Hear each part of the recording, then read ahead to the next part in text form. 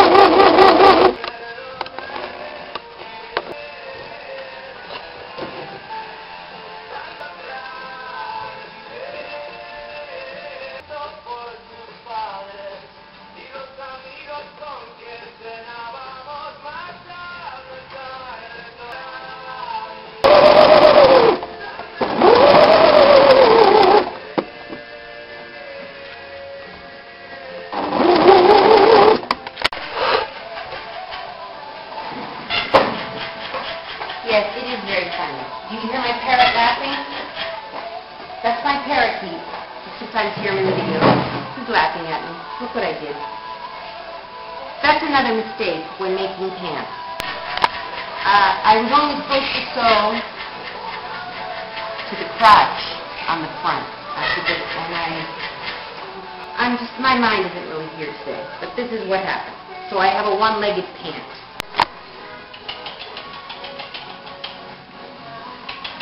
The nice thing is, in sewing, don't be scared of sewing.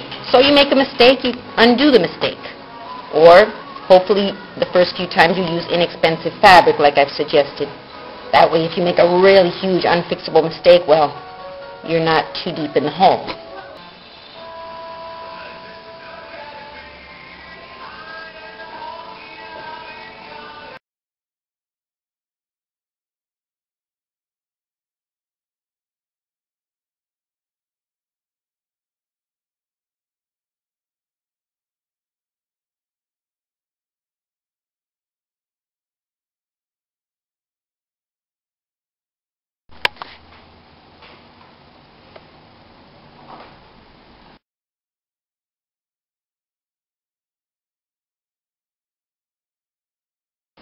Nine. Four, two.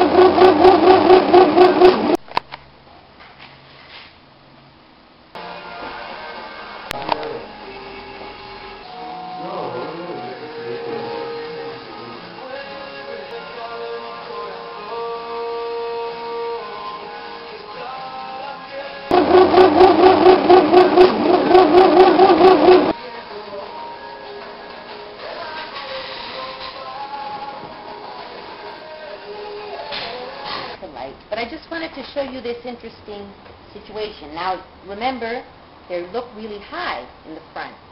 And the back looks high too, doesn't it? Look what happens when I sit down. So, the back is fine. It's actually even a little bit too low, but once I put the waistband on, it'll be fine. The front, I want it to match the back. So, you know, general. I'll just make a general line where I want to cut it. That in turn will remedy this problem.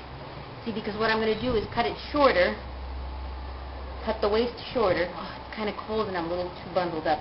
So I'll cut the waist shorter, then I'll put the waistband on, and this will be tighter, so that in turn will pull the fabric up. Uh, and this bagginess will, will disappear from the front just measuring to make sure it's even on both sides.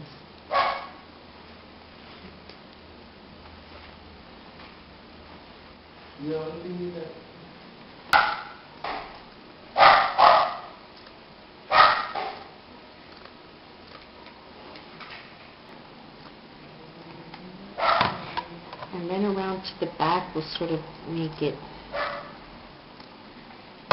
the back was fine, but we sort of got to even it in, ease it into the back.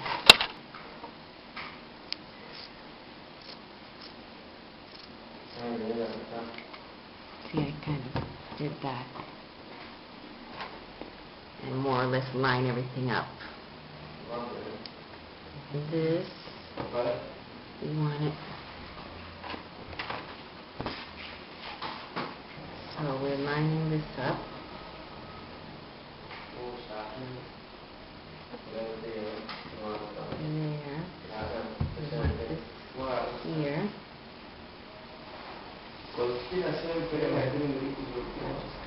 Cut that there.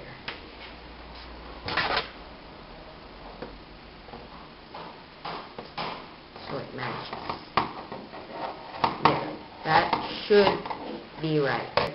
Had I known it was going to be so thready, I wouldn't have used it. But I've already started and I just got to finish it. But next time if I use this fabric, I'll cut the pieces out first and then I'll zigzag stitch along the edges so it doesn't keep getting unraveled. I've got to be very careful at this point since I cut off the stopper that I don't accidentally pull the zipper up and it and the zip part will come off the pants. Because then to get it back on, uh, I'll have to unsew and it's, it's a mess. So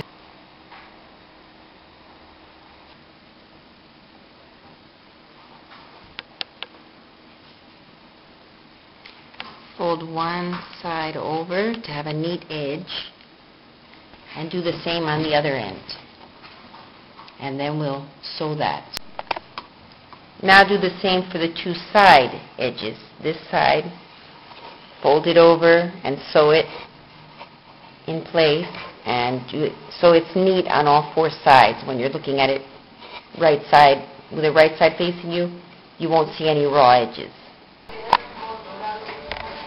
Hold and wrap the waistband all the way around the top.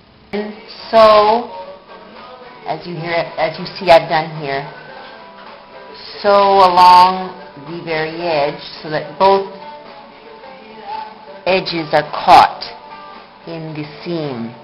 And just sew all the way around. I'm going to sew a button on these. I wanted to point out, you might have noticed at one point in the video that I cut the back. That was optional. You don't have to do that. I like to do it because I think it makes my rear end look bigger.